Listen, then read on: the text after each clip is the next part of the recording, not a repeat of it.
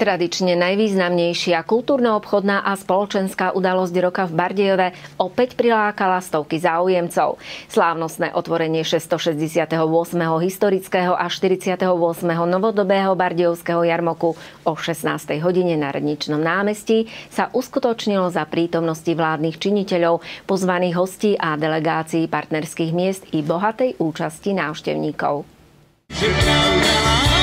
Priatelia krásy, a skúsme si zakývať, Radosné privítanie všetkých účastníkov Jarmoku pred jeho slávnostným otvorením patril Kolárovcom, ktorých energická hudba rozveselila celé námestie.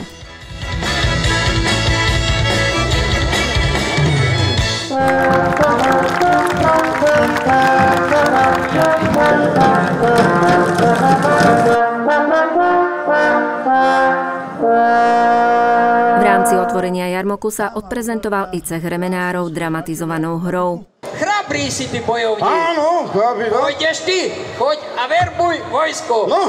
K početnému auditóriu na Radničnom námestí, v ktorom nechýbalo ani početné zastúpenie najvyšších predstaviteľov vlády, zácných hostí z partnerských miest, Bardejovčanov, sa prihovoril primátor mesta Boris Hanuščák. Bardejov je mesto, ktoré spája zacný odkaz bohatej histórie s novými výzvami modernej súčasnosti.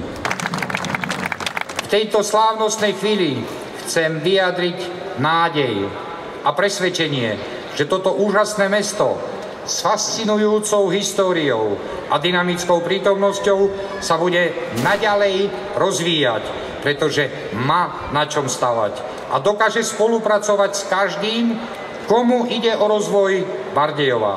A za to patrí moja obrovská vďaka vám všetkým.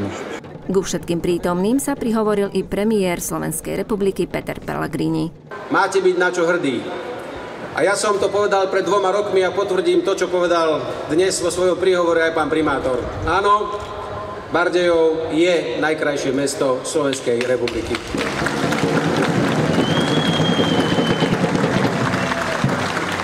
A je našou povinnosťou aj vo vláde Slovenskej republiky naďalej pomáhať tomuto mestu, aby sa rozvíjalo a slúžilo dobre občanom, ktorí tu pracujú, žijú, študujú a ktorí tu mienia stráviť aj zbytok svojho života. Čo sa týka Bardejova a čo sa týka tohto kúta našej krajiny, budeme robiť vždy to najlepšie, ako vieme. Aby sme pri príprave rozpočtu Slovenskej republiky na rok 2020 zdvojnásobili prostriedky, ktoré dostávajú naše historické mestá na udržiavanie pamiatok zapísaných UNESCO. Na tieto slova premiéra nadviazal vo svojom príhovore Béla Bugár. Pán premiér vám slúbil niečo, čo bude veľmi drahé.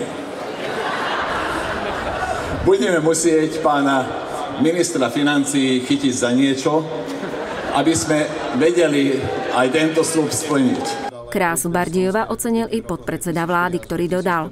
Je unikátne aj v tom, že robí 668 krát historický jarmok, čo podľa mňa nemá minimálne v strednej Európe obdobu a za to vám patrí jeden veľký potles.